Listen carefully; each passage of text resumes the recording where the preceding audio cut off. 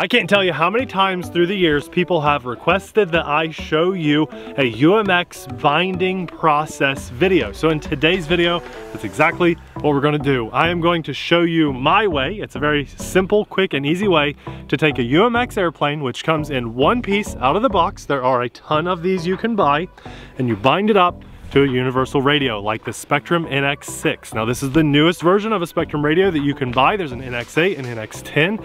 They have updates all the time. They're very easy to use and basically all UMX planes will bind to a Spektrum radio this way. I'm not here to say that I'm doing this the best way possible, but I am basically making this video to show everyone that's never gone through this process before how simple it is to actually bind and fly a UMX airplane. So let's go. First thing you do is hold this scroll wheel down like a button and power on your radio at the same time. Don't release the scroll wheel and you get a system setup menu. We go to model select, which is the second one down, and I'm gonna go all the way down to the bottom here, or near the bottom, add new model. I just want it to be an airplane, and I'm gonna go to create. And I'm just using this navigation to scroll, and I click it like a button. The very next thing I'm gonna do is go to model name, and just put in whatever I wanna name this. UMX Twin Otter, we're going back, back. what you call back. twatter. It's a twatter. okay, and now we're ready to bind. We power off the radio. This is my way of doing it. There's probably a few other ways to do this on any UMX plane, the very first time you get it. You literally just plug this in and it goes right into bind mode. Got Velcro on my battery already. Now, this is our bind button up here on the radio.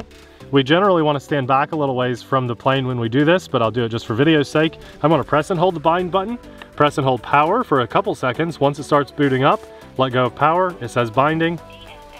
I release right around this point it's going through the whole process. Bind complete. There we go. Everything is working properly. Of course, you can give it a quick little safety test before you take off.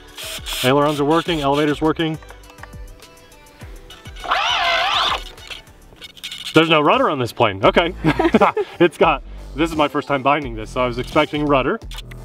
And we should have safe on a switch back here. We can hold full aileron throw safe and we see the ailerons go a little higher, so that means safe is off, safe is back on, throttle works fine. There you go, you have a UMX airplane bound and ready to fly. It's that easy.